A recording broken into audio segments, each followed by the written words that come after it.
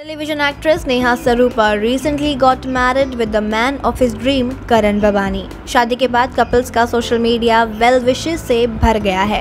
And couples ने social media पर अपने ड्रीमी वेडिंग की तस्वीरें भी शेयर की हैं। On the wedding Neha dolled up in a crystal embedded lehenga choli paired with a sheer veil she teamed her look with diamond jewellery with emeralds, which included a neck piece, matching statement earrings, a mang tika, a matha patti, and a pink chuda. She completed her look with the dew makeup, bold eyes, and a bindi, and amped it with a curvy open hairdo. On the other hand, her hubby complimented her in a pink hued bandgala suit paired with matching pants and a turban.